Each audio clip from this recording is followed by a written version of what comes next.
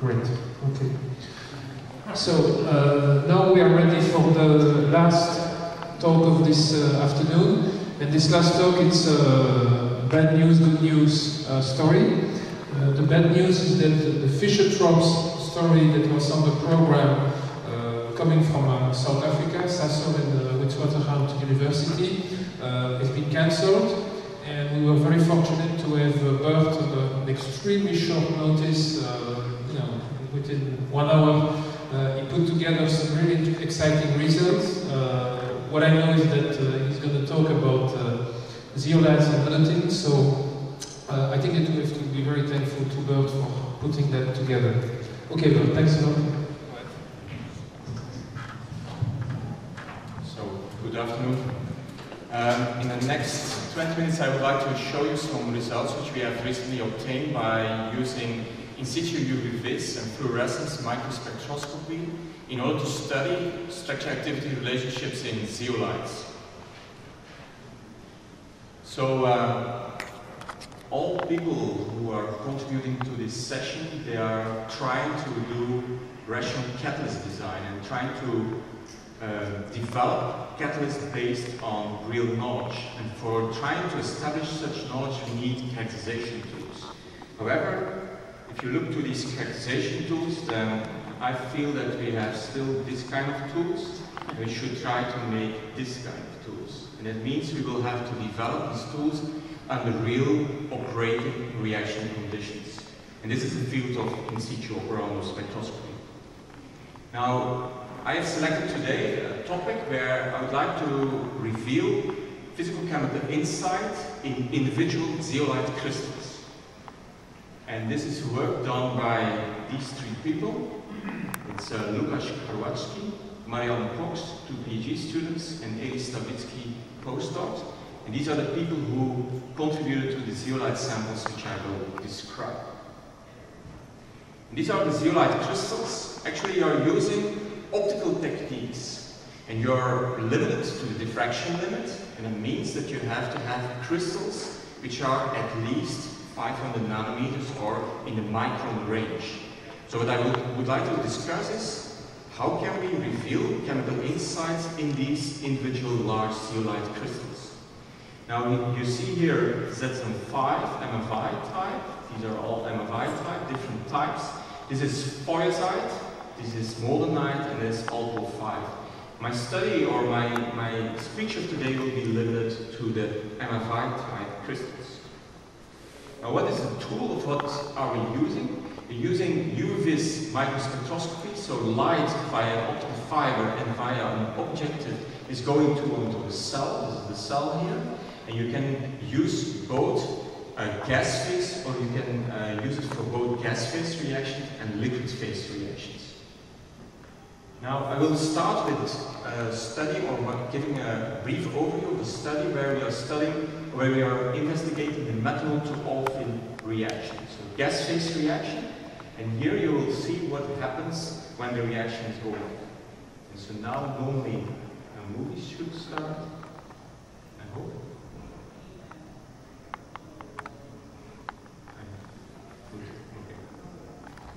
So here does not work, but what, what I want to say is what you will see is that you have here a, a ring, and this is absorption as function of the long axis. And what you see is that here and here you have absorption coming up. Now if you do it in this direction of the, long, of the short axis, then you have just not really a profile. Now here it's much better illustrated what I want to say is here you have kind of a rim formed in the crystal and here you have much less of this coke behavior. Now what you can do is you can quantify the amount and then you see here that a coke is building up as a function of time at these edges and here in the middle. Now this is all interesting but you know that SAPO 34 is the catalyst of interest and what you can see, this is a starting material, and then it gets brownish at the end, and also some yellowish. And at this moment, we are doing extraction procedures, and then we are trying to put uh, an assignment on these different spectra. inspired by these colors, we thought, can we not have now a kind of reporter molecule? A molecule which gives you a color and can be then studied spectroscopically. And the reaction which we took was, this is a styrene reaction which gives a dimer. And this dimer is a carbocation catalyzed by the acid side of the zeolite and which gives us peculiar color. If there's a chlorine on this styrene, you have a pink color as illustrated here. And in correspondence with the methyl hydrocarbon olefin reaction, where you saw coke formation, you see here now a rim of pink color in the middle some uh, pink color but much lighter. And you can do it also in a confocal mode and you have this kind of approach. Now this is for the chlorine, but you can do the same trick for the methoxy. Then you do not obtain a pink color, but a, a bluish purple color. And again, you see this color, the, the rim, and in the middle, you see some changes. Now, what is more interesting than just looking to these colors is that you can also take spectra. And here I show you UV-Vis spectra as a function of the position of this crystal. So what you see is that along this crystal, you have different spectra. This at the edges, A, you see you have a band here around 580, 620. And that 620 band becomes more dominant when you're here in position B, where you have less of the 580 and more of that 620. So this gives them what are we making in this zeolite. So this is a kind of reaction pathway where you have the styrene which becomes protonated by the zeolite it reacts with the other, and you have this protonated uh, dimer, which reorganize, and you make a species here, which has a typical absorption at around 585, stabilized in the zeolite. Now, when this compound reacts further with another styrene, you have trimeric uh, uh, species, and that has a 620. So seemingly, depending on the position in the crystal, we have a different ratio of the trimeric, dimeric species inside this crystal.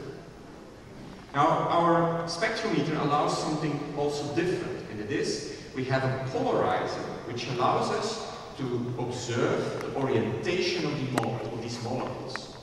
Now, these styrene reporter molecules, the dimer and the trimer, are rather stiff molecules. That means that they have an electric field which is oriented in a certain direction. If you now use a polarizer, then you can have, when the electric field is in line with the polarized light, then you have absorption. When it's perpendicular, it's white. So what you can see is this is unpolarized light. You do not see much changes. When you do the polarized light in this direction, it turns dark blue. Do you do the opposite? It's just white. So this is because the molecules which are in the pore channels of the, the zeolite are oriented and in line with the electric field of the light or just perpendicular to it. Well, this leads us then to the following idea about how such a crystal is built up. And this is a kind of coffin-shaped uh, crystal with uh, here the lid and here then the body, which is also built up of different units. Now, in order to prove this, I will come to that point later, but first I would like to illustrate how the pores are oriented in that ZSM5 crystal. You know that ZSM5 is two-dimensional and has straight and sinusoidal channels. And these are perpendicularly oriented.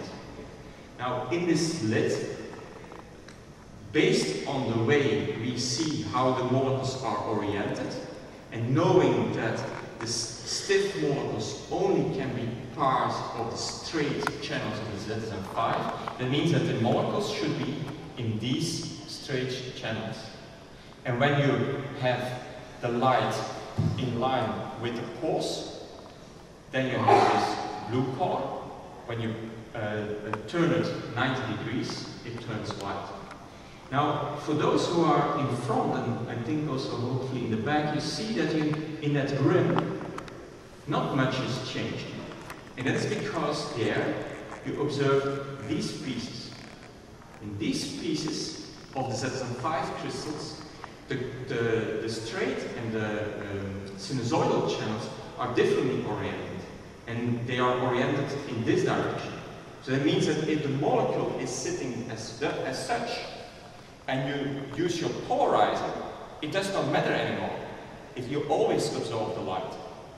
So with this in mind, we have now tested a, a, a, a rather large range of styrene molecules. Here you see the methoxy, the ethoxy, the pyrimethyl, chloro, bromo, etc. Now there are some which are just giving nothing, just a white color. And those are the more bulky. That's logic. These bulky styrene molecules, they cannot enter the pore system, therefore you do not observe anything. But you see that depending on the group, which is on the styrene, you see different colors and also different intensities. Now, to illustrate that this is general, to think about the orientation of the molecules, here I show you the polarization-dependent experiments for chlorostyrene and a methoxystyrene. You see it's general for all these uh, molecules. And all they show these two type or even, well, sometimes even three different bands due to two, uh, two dimeric or trimeric species. Now I already explained this slit and I showed you that if that was true, then the poles are oriented in this way, the straight poles. That means that for this part, they should be oriented in that way. And that here prove. This is this side, oriented in this way, absorption, perpendicular to light. And here you see then the effect on the spectrum in intensity. Now, knowing now that we can have this different reactivity, of this reactivity for these styrene molecules, we were wondering what is now the relatively, relative accessibility and reactivity of the different pores on the lid and the bulk of the zeolite crystals. And for this we loaded the crystal with an, an increasing amount of styrene. And here you see the reactivity of the, um, the, the, the band due to the dimeric species, which is increasing when you load more and more styrene in the individual zeolite crystal. Only at the highest styrene uh, concentration you have an additional band around 6, 620, which is due to the trimeric species. In contrast, when you look to, this, uh, to the center uh, of the crystal, in the middle of the crystal, in the lid, you see that you have, when you increase the loading, you see right away die and try together. And even much more try than die when you have uh, a lot of styrene in the system. How do we explain this? Well, this is the pore system as it sees the outside world for the edge of, your, of the ZSM5. And that is these straight channels open to the environment. And these styrene molecules, they go inside, but what happens is that when you see here, and when they see an acidic site, they start to be protonated, they react, and somehow block the crystal from getting further, and therefore no trimeric species is formed, and only the dimeric species are enriched in the surface of the crystal. In contrast here, when you look what, how the surface looks in the center of the crystal, you have the sinusoidal pores which are exposed to the outer surface. And the molecules enter here, but react in the straight channels, and so you have free access to these straight channels where reaction takes place, and so you can make a lot of the trimeric species inside these crystals. Now, a very interesting thing is that you can monitor the intensity quantitatively of these di and trimeric species. And here I show you kinetic plots as a function of absorption and function of time for these different uh, styrene molecules. And you could, can put a kinetic constant on it, and you see that depending on the type of uh, group on the styrene, you have different reactivities. Now, how can we explain these reactivities? Well, the first is that the ethoxystyrene, because it's much more bulky, you have much a smaller K for ethoxystyrene than methoxystyrene. I think that is rather obvious. But also what is very interesting that you can see carbocation stabilization effects. So the methoxy, here you have, you're protonated and you have here a resonance structure. And because methoxy can give here a double bond to that ring, this is a stabilization. And that makes that the methoxy styrene has a higher K, a higher reactivity than the methyl styrene. Actually, you will see it in a confocal mode, even much more penetrating. And in the case of the fluoro, chloro, and bromo, it's in the same reasoning that due to stronger electron withdrawing substituent, they lead to a lower carbocation stability, and therefore the fluoro is much less reactive than the bromo. Now, this is for the UV vis, and when you have a UV vis spectrum, that also means that you should see some fluorescence behavior. So what we did was we used the same in situ cell, the same uh, approach, but now we were looking with fluorescence and looking for these models.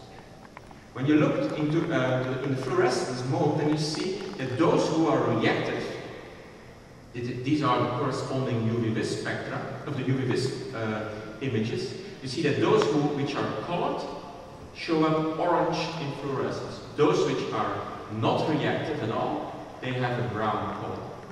Now also what you here already see is that you have differences in the middle of the crystal and on the edges.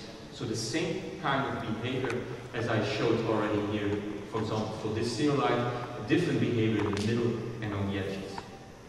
Now I would like to illustrate this by two, point, two uh, images. This is one where you have a brown color in the middle and a reddish color on the edges. And here it's the other way around, reddish in the middle, brownish at the, uh, at the edges. How can we explain this? Now, this one is about methoxystyrene, which I already explained, a very reactive molecule inside these uh, zeolite crystals. And when you look, this is fluorescence, and we excite with this light in fluorescence. Now, if you look here, the, the red spectrum is the edge. So here you see that because you have a lot more absorbance at the edge, much more intensity here, that means that therefore this is more reddish in fluorescence than here, and this is in line. But this here, you should be very careful with the transbeta-methylstyrene because here you would think that you have less reactivity here than there. But the reason is that you have here in the edge, you see that you have a spectrum which you excite here, and you have much less of that. So this shows that because uh, that the UV vis and the fluorescence are entirely comparable. Now, we did this for large zeolite crystals, which are about 50 or 100 microns big. Now, of course, you want to do this for much smaller crystals, or even realistic crystals. So here I show you already a first attempt towards smaller crystals, and at this moment even we are trying to, to bring it to fraction limit and goes to 50 microns or uh, 50 nanometers or smaller. But I will explain it for the, the crystals which are in the 10 micron size. Now we have micropores and mesopores, and I will not be able to discuss that in detail, but I want to show you some things which allows you to really see that it's a powerful tool for illustrating differences in um, microporosity and mesoporosity and its effect on catalysis. If this, these are the microporous crystals, and you see the different molecules reacting, and actually, when you put here K constant, as uh, rate constant on, they are exactly the same or almost the same as for the big crystals. So diffusion or other effects are not playing a role. What we obtain for the big crystals is also transferable to the smallest. But more peculiar is that you see clearly differences in the accessibility and the reactivity when you have mesoporosity in the crystal. So here you see because you removed here this part, this part becomes fully accessible and now you see a lot of reactivity. Whereas in this case, this part is accessible but somehow blocks this from being reactive. So you can easily access with this technique which uh, parts of the zeolite crystals seemingly to be involved in the catalysis and which parts are not.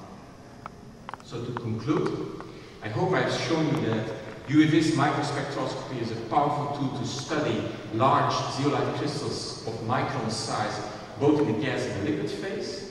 The space and time results spectra reveal different accessibility and reactivity patterns within these large zeolite crystals and also allows you to study micro and mesoporosity. And I also showed you that the styrene oligomerization reaction is a very uh, elegant uh, reaction because due to its colors and color changes and also uh, the possibility to monitor certain bands as a function of temperature and time, you are allowed to visualize shape selectivity in these zeolite micropore channels. So with this I would like to thank you for your attention and I hope you're not too disappointed that it's not fish trolley.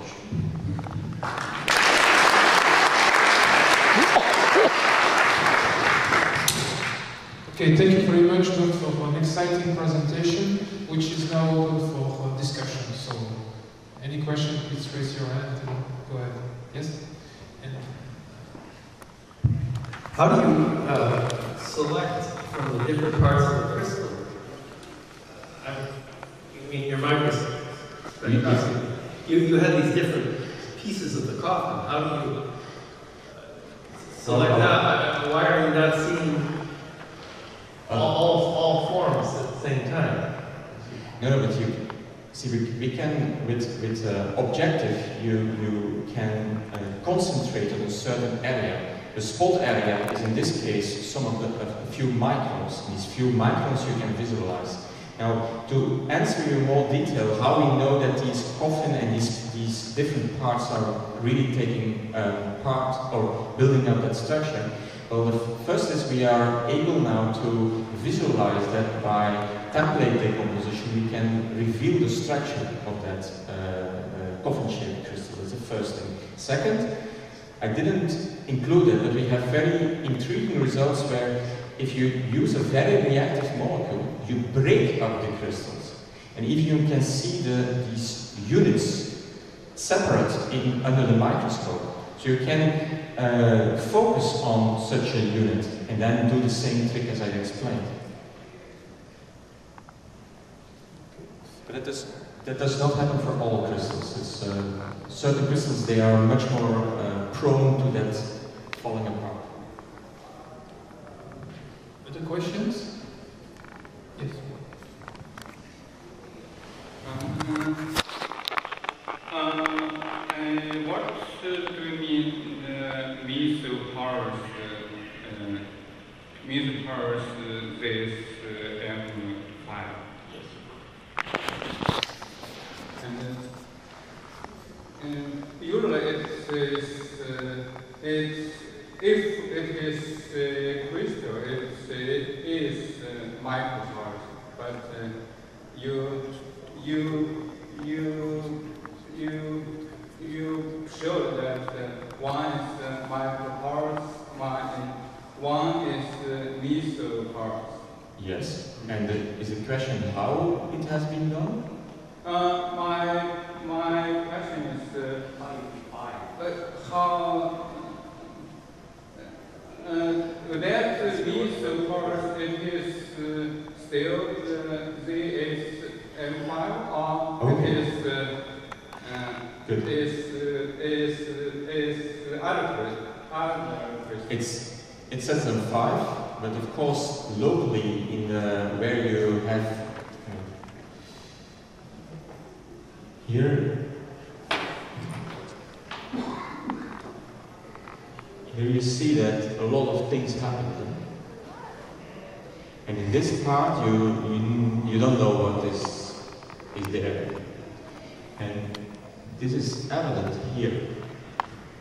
You see here, when you focus with your micro, your objective on this part here, yeah, that I cannot judge it. That's still uh, what it is. I would be careful. But this part, we are sure it's it's it's at a five.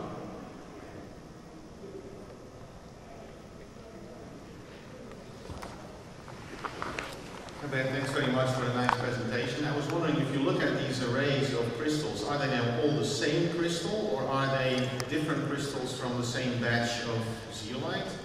And if they are the same, how do you get all these different templates out again before you need to use a new one?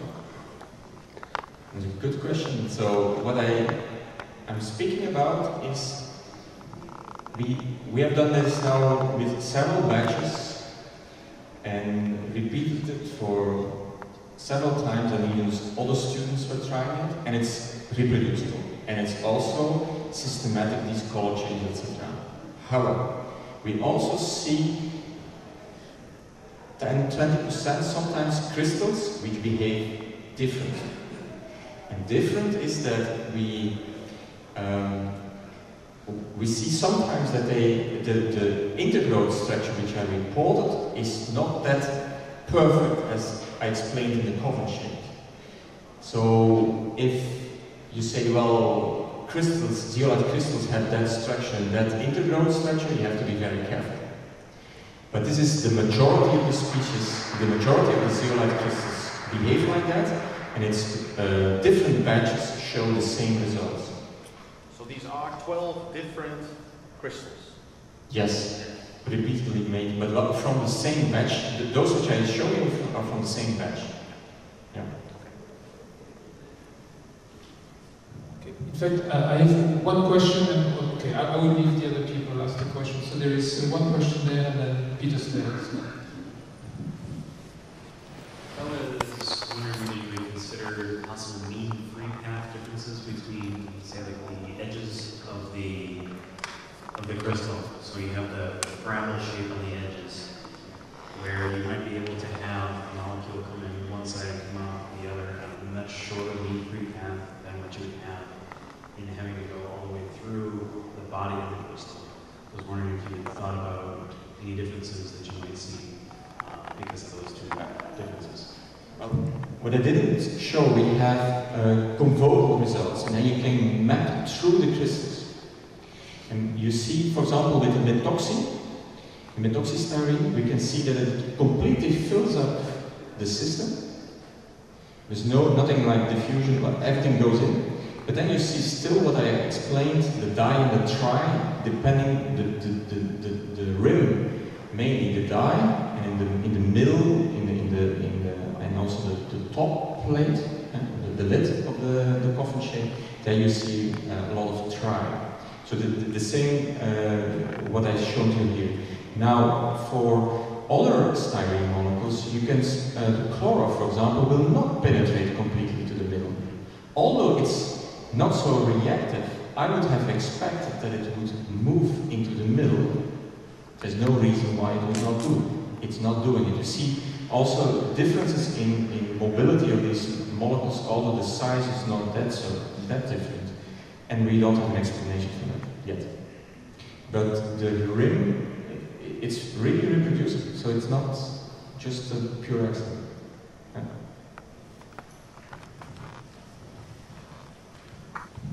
So that was really fascinating. Um, I got a question about the polarization dependence that you saw.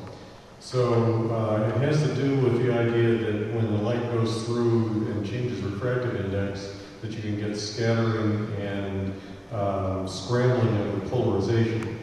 And I wonder if you'd ever looked at whether the fluorescence uh, was polarized as well, and whether it, uh, or whether you had the same scattering issue that uh, uh, might confuse the polarization as it comes out. Well, good question as well. At this moment, I hope that the students are installing the polarizer on the fluorescent microscope. the point was we thought, because you have a laser exciting it, that we would have polarized light per definition, and it turned out not to be the case. So we were in discussion with, in this case, Nikon, and they they were not convinced in the beginning that what we were telling them is uh, should be, and they said no because and uh, last I think one week or two weeks ago they tried already something uh, uh, preliminary, and they see also there with the the, flu the fluorescent that you have this kind of behavior, but now they will come today, and I hope they, well, yes, now, a few hours ago in Belgium, in the Netherlands, sorry, I hope they install it really well. I don't know it, how it will turn out. But it's a good question because you would expect it, it was not when we just uh, had it, and you would think with the laser excitation it would go right away.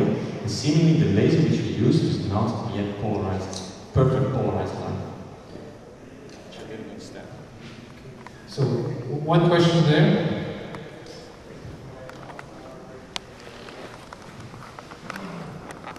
Uh, it kind of, it's intriguing to uh, figure out if you would see a similar behavior when you change the zeolite from ZSM5 to ZSM11, in which case you have uh, two perpendicular straight chain, straight chain, uh, straight channels. This is the MEL versus the N5 structure. Uh, my question is whether you have checked it. Well, if you look very well there, there's written down Machteld Mertens ExxonMobil. And so she is trying to synthesize for us materials which are big enough to do this analysis. And although, okay, we have now already a series of samples, actually we have also SAPO 5, SAPO 34, I already discussed that. And if you could offer me a sample of ZSM11 with this kind of size, we are willing to do the experiments, we are curious to do, to do it. However, to have, for example, SAPO 34, which we have crystals of 14 microns, it took us almost two years to have perfect re reproducible synthesis of SAPO 34 14 micron crystals. A lot of people can make it with a few microns.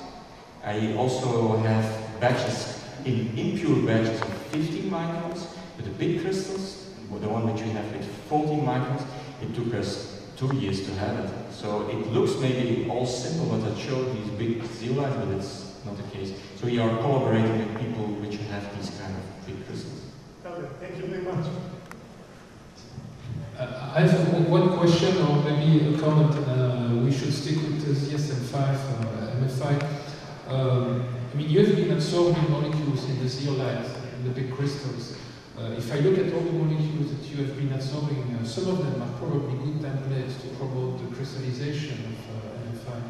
Uh, have you thought about uh, following the crystallization by this technique uh, to see how the crystals are developing, you know, once they reach the, the 10 micron, from 10 micron to 100 or something like that? Also, good suggestion. Um, I think it should be possible. We, we recently submitted a paper where we follow this with regular template molecules already. And then you uh, burn it